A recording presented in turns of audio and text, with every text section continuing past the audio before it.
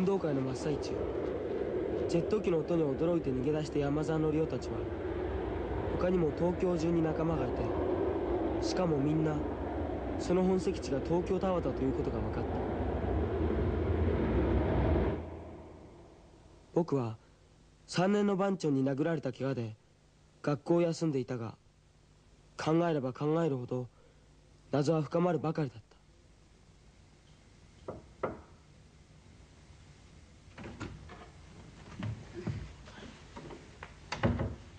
はいこれ飲んでうん母さんもう僕起きるよ。ほらダメよ。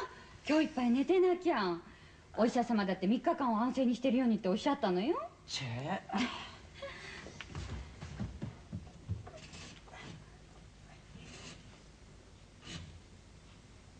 でもお隣の山沢さんってなんだか気味悪いわね。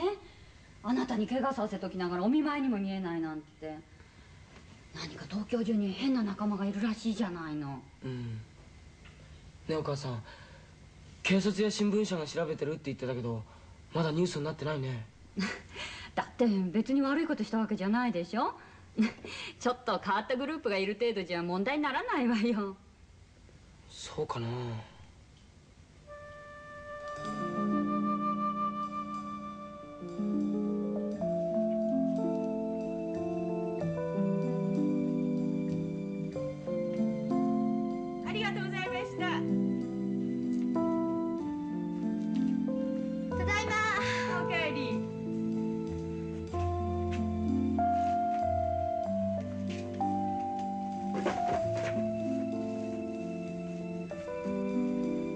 したの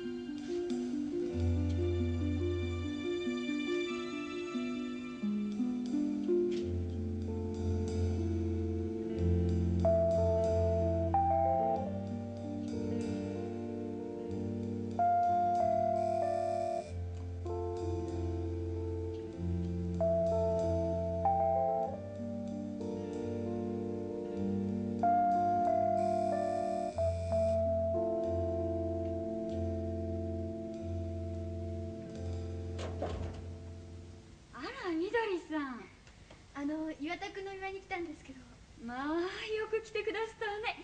さあどうぞお上がりになって。光一みどりさんがお見舞いに見えたわよ。さあどうぞ。どうも。何してんのかしら遅いわね。光一光一。分かってるようるさいな。こんにちは。いやみどりさんからね素敵なお見舞いのお花いただいたのよ早速飾らなくちゃね。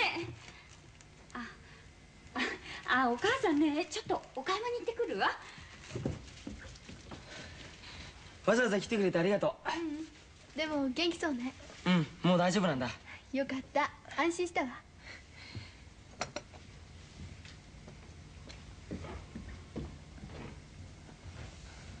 学校の方ど相変わらずよ。う山田のやつどうしてる？実はね運動会の翌日から欠席してるのよあなたと同じに。そう。今も寄ってみたんだけどブザーをしても全然返事がないの。隣はいつもそうなんだよ。いるんだかいないんだか分かりしないんだ。そう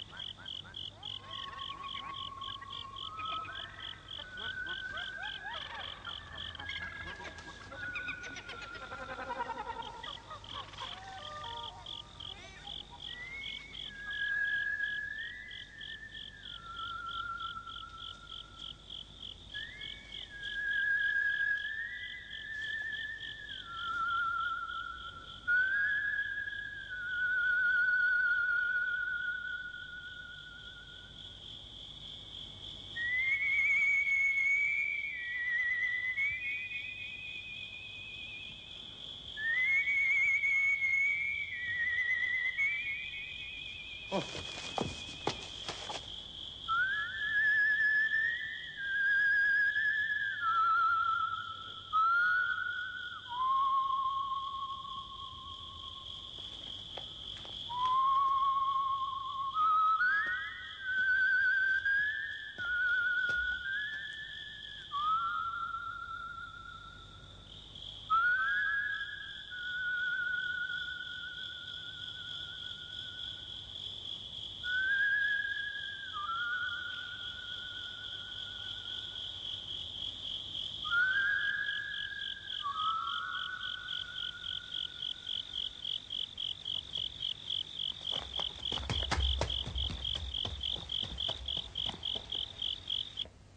本当お父さん。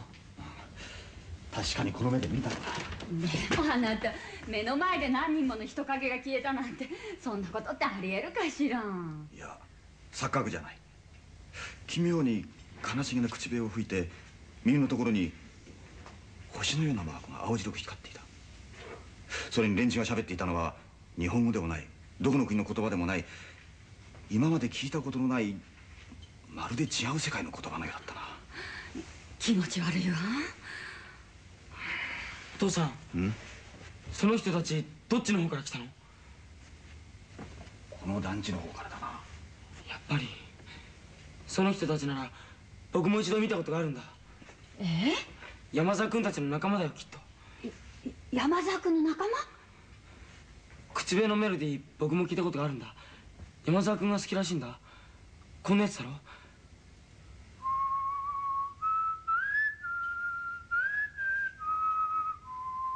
そうだそのメロディーだ。やめてよ。なんだか怖いわ。どうもおかしいな。あれが山沢さんの仲間だとすると連中は東京中にいっぱい散らばって何を企んでるんだ。それに連中は一体何者だ？わからん。私にはどうもわからん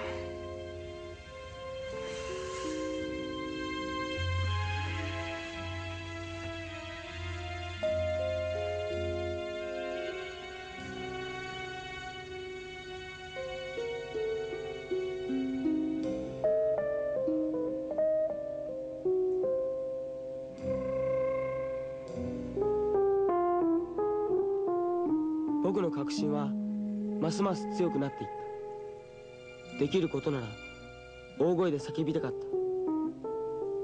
山沢則夫たちは別の世界から来たんだ。きっとそうなんだ。そしてその翌日おはよ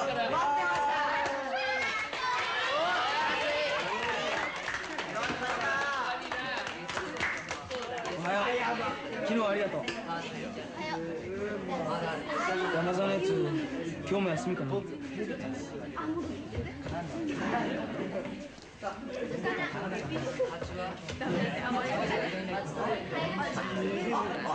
生が来たぞ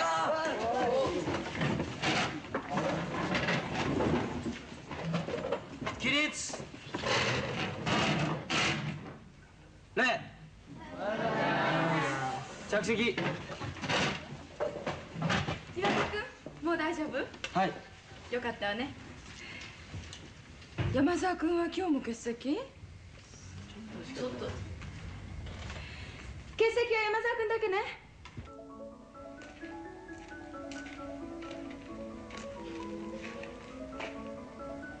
生きている生物は全て酸素を消費し二酸化炭素を出しているわけですね。これをつまり呼吸と言います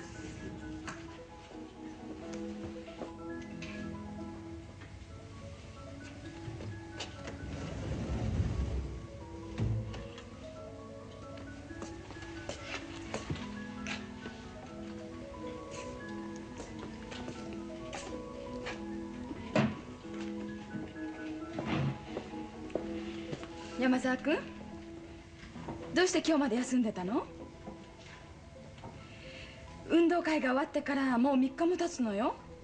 それにあなたは岩田君みたいに怪我をしたわけじゃないし無断で欠席するのはよくないわね。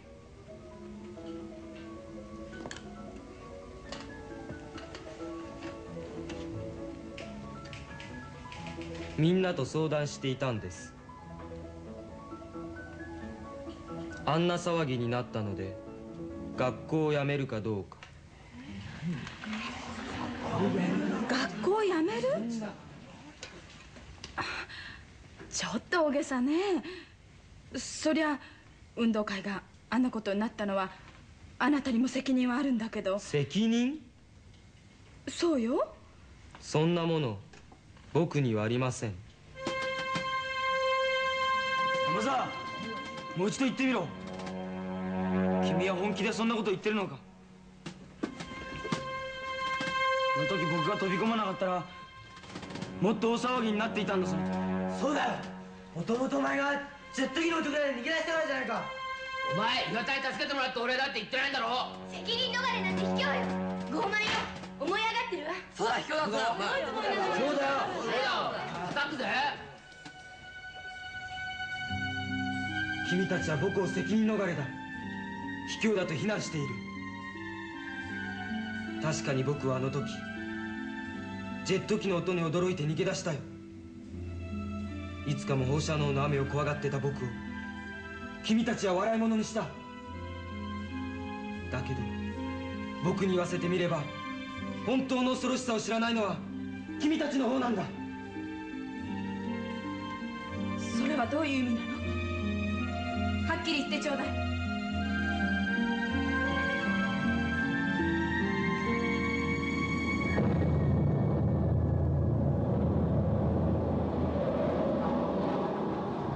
原子爆弾だよ。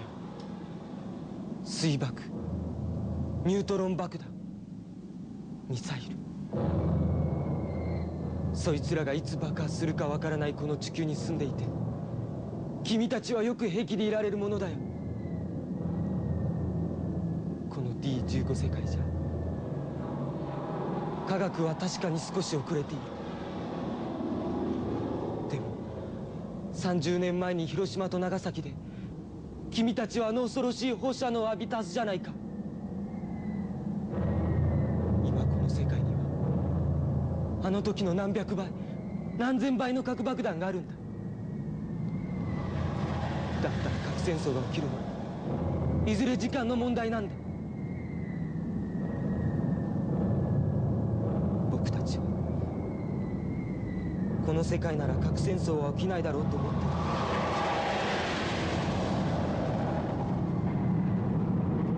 誰か核戦争の恐ろしさを知ってるか？知らないだろう君たち。は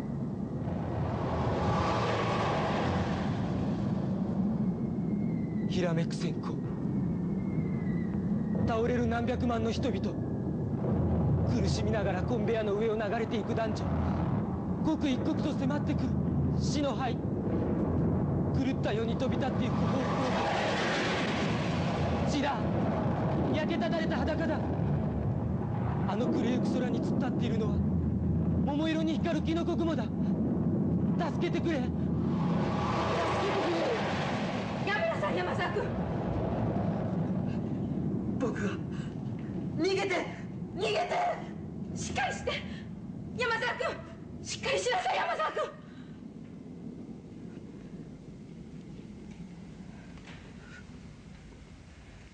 先生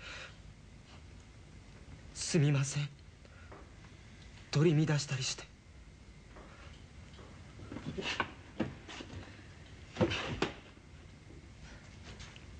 山崎君。あなた今日は帰んなさい。疲れてるのよ。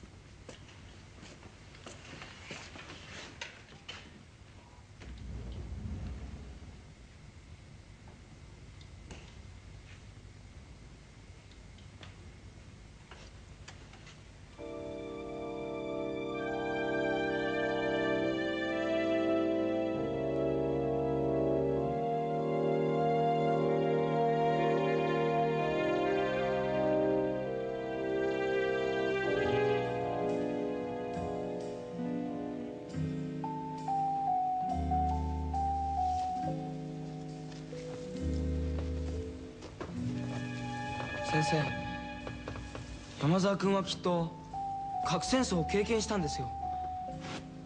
僕にはそうとしか思えません。先生もなんだかそんな気がしてきたわ。でもこの地球上に今核戦争なんて行われてないのよ。だから彼らは別の世界から来たんですよ。山沢君はこの地球のことを D15 世界って言ったでしょ D15 それが何よりの証拠じゃありませんか？でもでもその別の世界がどこにあるっていうの？山沢君たちは一体どっから来たっていうの？それは分かりません。僕にも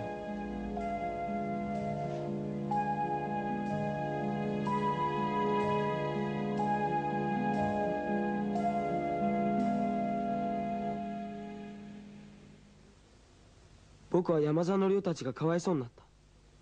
でも核戦争を体験したとすればそれは一体どこでなんだろう。ところがその夜。光一大変だ。来てごらん。どうしたの？夕刊に山沢さんたちのことが出てる。え？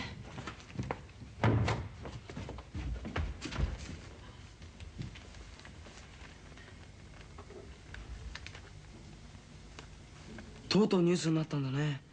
うん。なあ光一。今日学校でのりおくんが核戦争の話をしたそうだね。うん。聞いてる僕たちまで恐ろしかったよ。気味悪いわ。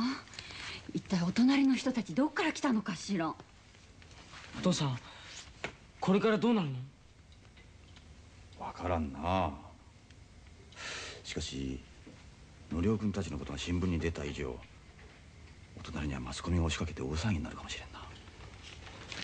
僕あいつに会ってくるよ。やめなさいよ。どんな目に遭うか分かんないわよ。大丈夫だよ。よし。やってごらん。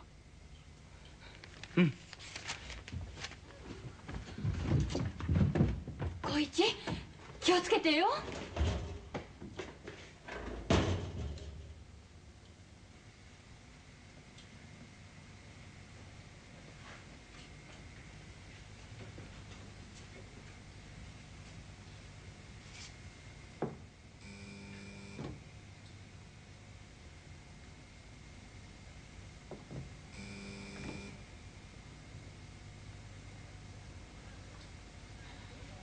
山沢君僕だよ。岩田だよ。開けてくれ。山沢君。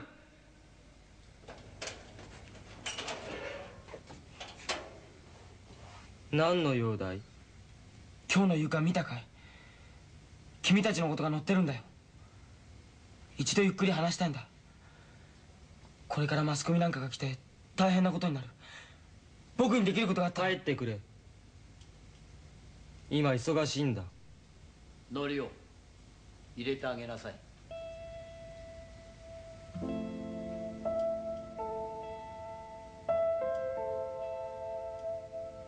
入れよ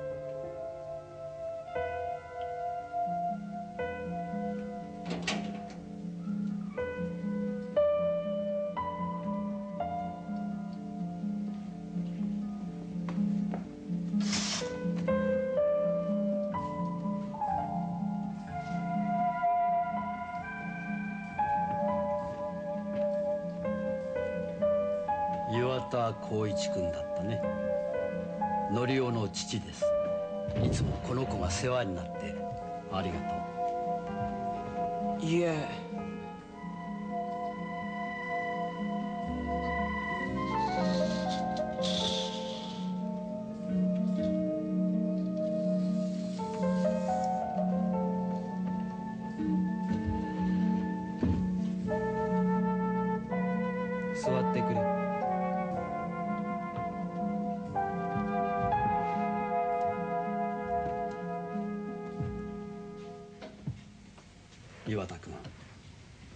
君は私たちの正体に疑問を持っているようだが理解してくれる人にはいつでも真実を見てもらうつもりだよ。では教えてください。皆さんはどっから来たんですか？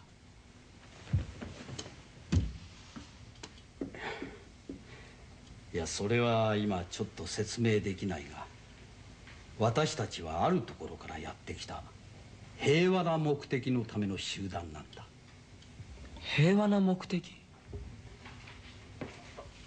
じゃあ皆さんは核戦争を体験したというのは本当なんですか？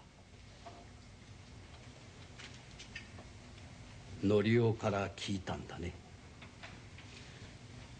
見せてあげなさい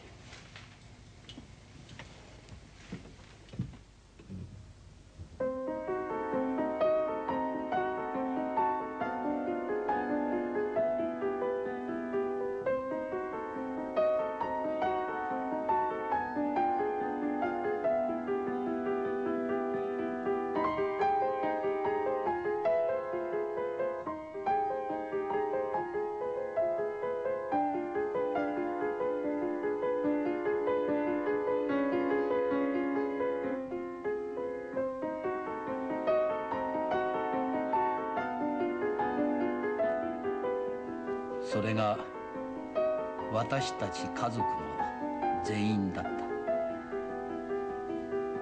だが今残っているのはこのわしとのりおだけだ。